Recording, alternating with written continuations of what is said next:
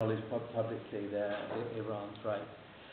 Well, it, it really, I mean, I think they're perfectly relaxed now. They weren't always in America about Iran having nuclear power reactors uh, and, and using re- research reactors also to produce medical isotopes.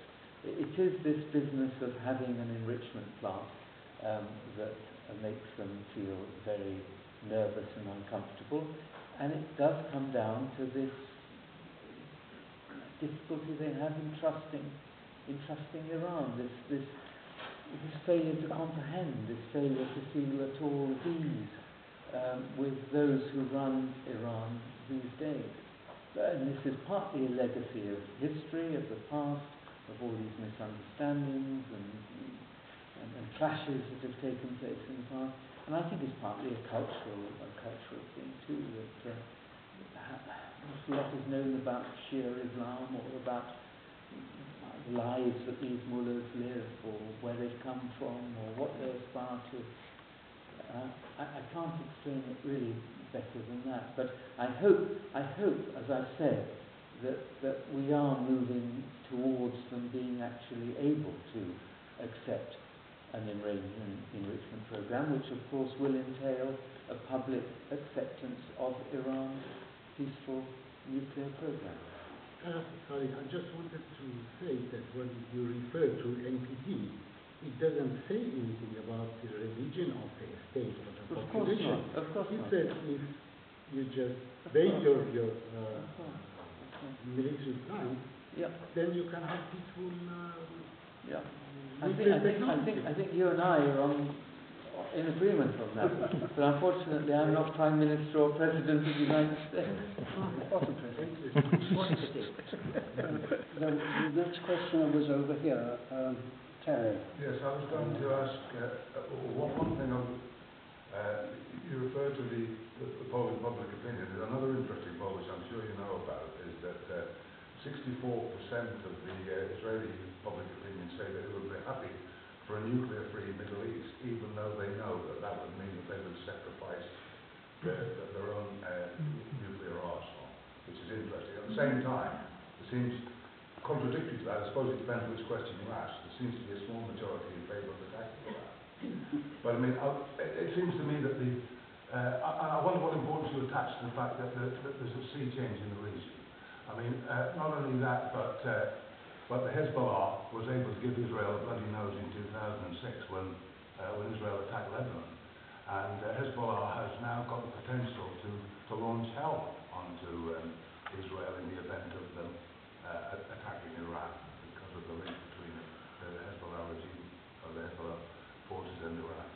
But also, uh, there is no longer the bulwark of Egypt there. Uh, uh, there is uh, destabilization entirely throughout the region.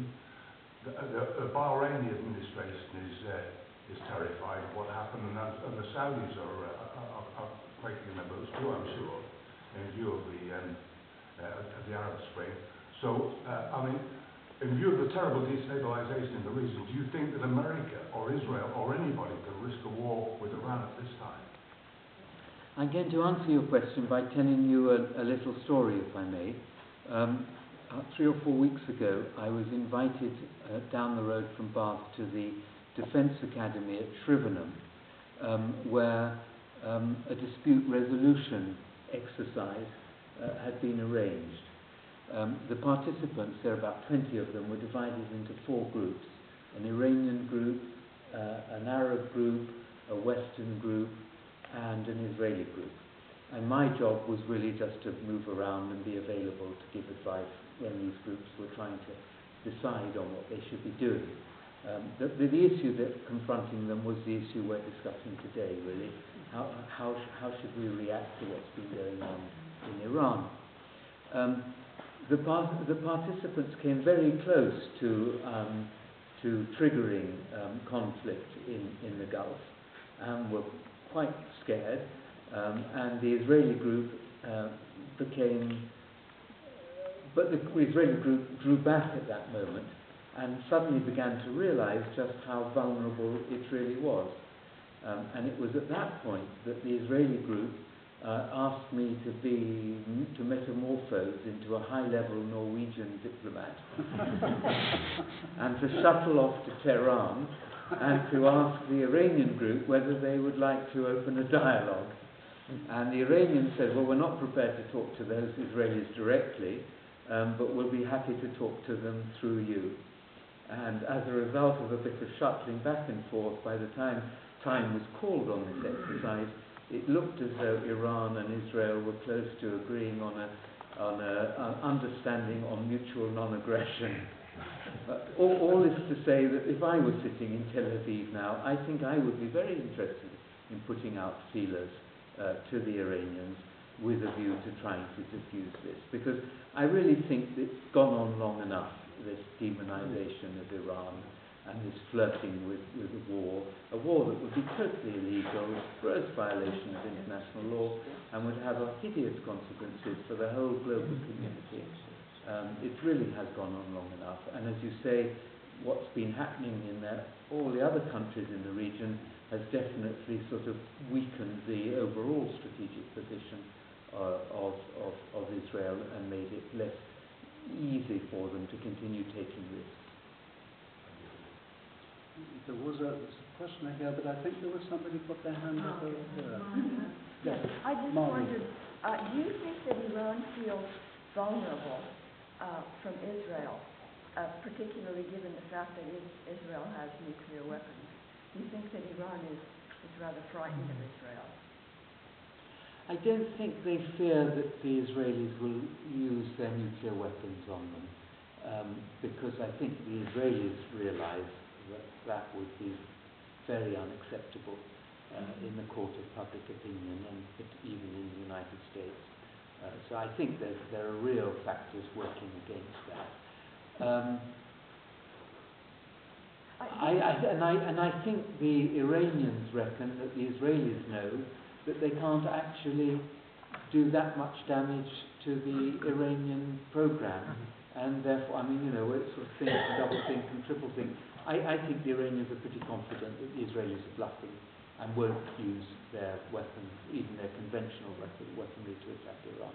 But didn't, at, at one time, wasn't Israel trying to convince or persuade the United States to attack Iran? Oh, yes. Oh yes, and and I mean there was one point where the uh, Iranians were uh, anxious, uh, not to use the word scared, and that was the summer of 2003, after the invasion of Iraq, before the invasion of Iraq all began to go horribly wrong, and I, I remember my Iranian colleague uh, in Vienna saying to me, "I'm very frightened that those Americans are going to start marching on Tehran." Uh, and I said to him, actually, in good faith, because it was what I believed at the time, no, I don't think that's going to happen. You don't have to worry about that. Actually, I've heard some things since that make me feel that perhaps it, it, it, there was a real risk of it happening, because it's certainly what the neocons wanted. Um, but, but I think that risk has grossly has, has, has receded because you know the American armed forces have had a very very um, wearing last um, decade, and, and there's no appetite in the Pentagon uh, for um, war, war, war, war with Iran.